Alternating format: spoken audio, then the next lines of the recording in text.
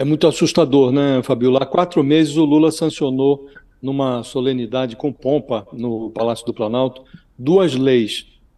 Uma prevê o funcionamento 24 horas de delegacias da mulher e a outra prevê a implantação de um programa de combate a assédio sexual em órgãos públicos. O presidente deveria chamar o ministro da Defesa, o Zé Múcio, para uma conversa. Essa reportagem publicada pela Folha sobre assédio sexual, sobretudo contra mulheres militares, indica que as delegacias especializadas e o novo programa precisam ser levados para dentro dos quartéis. A notícia expõe duas excrescências.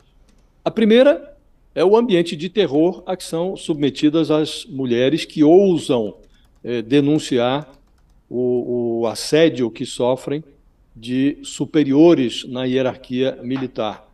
E a segunda aberração é o fato de que eh, um crime comum previsto no Código Penal está sendo submetido à justiça militar, uma justiça majoritariamente masculina. Não faz nexo que o assédio à mulher de farda seja julgado como crime militar. É, Comete-se um crime dentro do outro. É, decisões é, judiciais manuseadas pela Folha e é, reportadas nessa notícia revelam vícios processuais, machismo, desconfiança das vítimas, em relação às investigações internas das Forças Armadas, é, aqui é preciso fazer um paralelo, é, Fabiola. Ao transferir para o Supremo Tribunal Federal as investigações contra militares envolvidos no 8 de janeiro, o ministro Alexandre de Moraes sustentou que a Justiça Militar não julga crimes cometidos por militares, julga crimes militares. Há uma distinção. E o mesmo raciocínio precisa ser aplicado aos casos de assédio sexual cometidos por estúpidos fardados contra mulheres militares.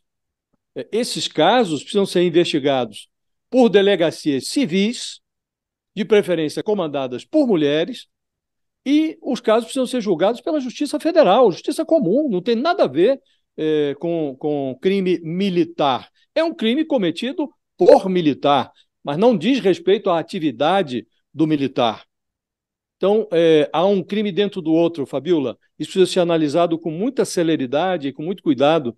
E, como disse, o Lula devia chamar o seu ministro da, da Defesa, o Zé Múcio, para discutir esse problema. Esse problema não pode continuar como está. É, é preciso transferir é, esse, essa encrenca do assédio contra mulheres militares para a esfera civil.